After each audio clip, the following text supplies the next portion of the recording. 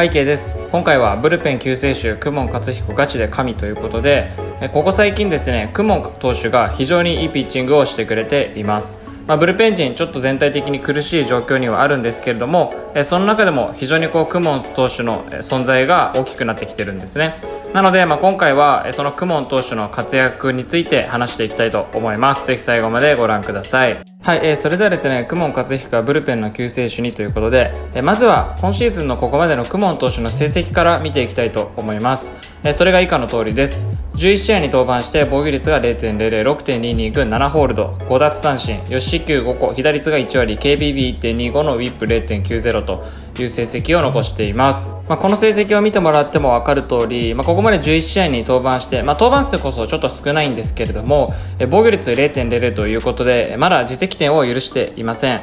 で、まあ、ホールドもね、11試合のうち7個上げているというところで、非常にね、こう、いい場面で投げて抑えているというのが、えこれを見るとわかると思います。ただまあそんな雲投手なんですけれども、まあ、今シーズンはね結構苦しいシーズンでした。え、序盤は故障だったり、まあ、コロナに感染したり、まあ、体調不良になってしまったりと、まあ、いろいろね、本当に苦しいシーズンで、え、基本的に前半戦はずっと2軍生活だったんですね。まあ、復帰したと思ったら、え、また離脱してしまったりっていうことで、まあ、こうね、ちょっと繰り返してしまった部分が、なかなかまあ1軍定着まではいきませんでした。え、しかしですね、最近、まあ、佐々木投手の離脱があってからは、まあ、貴重な左腕として、え、ブルペンで1軍に定着することができています。で、まあ、そんな中で、本当にね、ブルペン陣、ちょっと人員不足もあって苦しい場面ではあるんですけれども、もそんな中で登板をして抜群の安定感を誇っているんですね。で、まあそんなね、クモン投手の登板シチュエーションなんですけれども、まあここ6試合、直近6試合の登板試合のうち5試合はイニングの途中から、登板をしているんですね。えつまり今シーズンは火消し役として、え非常に活躍をしてくれています。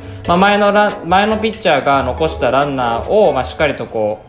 返さずに、えー、抑えて帰ってきているんですね、まあ、ピンチからの登板だったりとか、まあ、あるいは左バッター1人に対しての登板だったりとか、まあ、そういうシーンが非常に多くて、まあ、ちょっとね結構イニングの途中から投げるってすごい難しいことだと思うんですけれども、まあ、そんなこう難しいシチュエーションの中でも、えー、しっかりと、えー、素晴らしいピッチングをしていて、まあ、ランナーを返さない、まあ、それが今シーズン失点をしていないという部分につながってるんですね。で、マックモン投手、まあ、左ピッチャーということで、まあ、対左というところに投げるケースが非常に多いんですけれども、まあ、左右関係なく抑えられるところも非常にクモン投手の強みなんですね。まあ、今シーズン、対左の被打率っていうのが1割3分3厘で、対右の被打率に関しては、まあ、対戦成績、対戦回数が少ないっていうのもあるんですけれども、0割0分0厘ということで、まだ右バッターにヒットも許していません。なので、まあ、こういった感じでね、左右両方とも抑えられるところが、まあ、非常に公文投手の強みですし、まあ、これができると、本当セットアッパーとして、丸々1イニング任せることも、えー、十分できます。なので、ここ最近は本当にセットアッパーとして1イニング投げた試合もありましたし、まあ、左右関係なく、えー、登板することも増えてきてるんですね。まあ、左キラーとしても、えー、使うことができる。火消し役としても使うことができる。で、右バッターも抑えられるから、丸々1イニングセットアッパーとして使うこともできる。まあ、本当にいろんな使い方をできる。まあ、これがクモン投手の一番の強みになってくるのかなと思います。で、まあ、そんな雲投手の活躍もあって、なんとかまあ持ちこたえている西武のブルペン陣なんですけれども、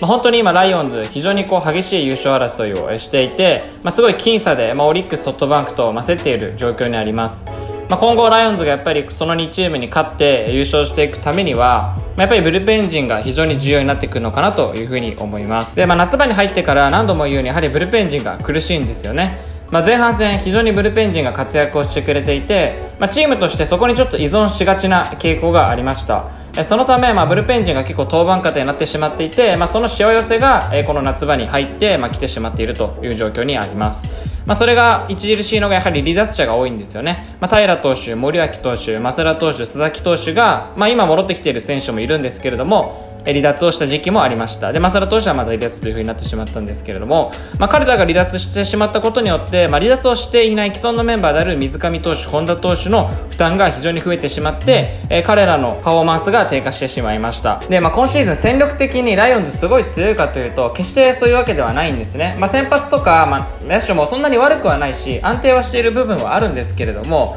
まあ、そんなにね、こう突出したものは一つもありません。まあ、何が一番すごいかというと、やっぱりブルペン陣が一番優れているんですね。まあ、そこで接戦をしっかりとものにしてきたからこそ、今の順位にいることができています。なので、まあ、ブルペンで勝ってきたチームなんです。なので、ブルペンがこうパフォーマンスが下がってしまったりしてしまうと、やはりこうライオンズは勝ちゲームをこう持ってこえなくなってしまうんですね。だからこそ、まあ、今後優勝を狙っていくためには、やっぱりブルペン陣の復活が非常に必要になってきます。で、まあ、そのブルペン陣の救世主となるのがやはりクモン投手だし、まあ、これからもやっぱりクモン投手の活躍っていうのが結構チームの勝敗を左右してくる部分は結構大きいと思います。でそれが最終的なまあ優勝につながってくる部分はあると思うので、まあ、今後のクモン投手の活躍っていうのも非常に重要になってくるのかなと思います。まあ、そんなクモン投手の活躍もあって、まあ、ブルペン陣ちょっとずつですが復活の兆しを見せつつあります。まずは離脱していた平投手、佐々木投手が復帰をしました。まあ、やはり前半戦のブルペン時の快進撃があったのは、まあ、この2人の活躍があったので、まあ、その貴重な2人が帰ってきたっていうのは非常にブルペンにとっては大きいですよね。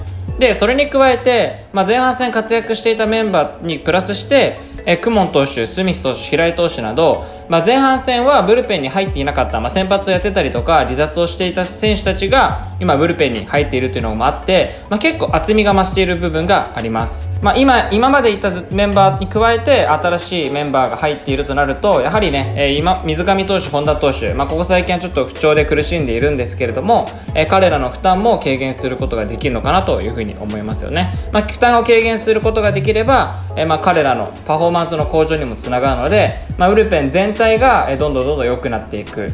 全体的に強いブルペン陣が形成することができるのかなと思います、まあ、ただ一つ不安要素があるとしてはやはり増田投手の降格ですよね。まあ、コロナがね、ちょっとどうなっていくのかわかんないんですけれども、まあ、特例措置ということで、えー、抹消してしまいました。まあ、増田投手がいないというだけでも絶対的なクローザーですので、非常にチームとしては痛いですし、まあ、増田投手がもしコロナ陽性だった場合は、他のブルペン陣も、えー、感染してしまっている危険性があるので、えー、また新たにね、離脱者が出てしまう可能性があります。まあ、ここが本当に不安だし、まあ、もしこうなってしまうと、ちょっとね、優勝という部分も、えー、遠のっていくところがあるので、非常に不安なんですけれども、まあ、増田投手がもし何もないとなれば、まあ、ブルペン陣本当に復活の兆しというか、えー、完全復活も、えー、全然視野に入ってくるのかなというふうに思います。まあ、クモン投手の、えー、活躍も含め、えー、今後のブルペン時の復活にも、えー、ぜひ注目をしてみてみてください。以上です。はい、今回も最後までご視聴ありがとうございました。今後もライオンズに関する動画を上げていくので、ぜひチャンネル登録の方よろしくお願いします。Twitter の方も毎日更新をしているので、ぜひチェックしていただけると嬉しいです。皆さんの中でこんな動画見たいなどリクエストありましたらコメント欄の方に書いていただけると嬉しいです。ありがとうございました。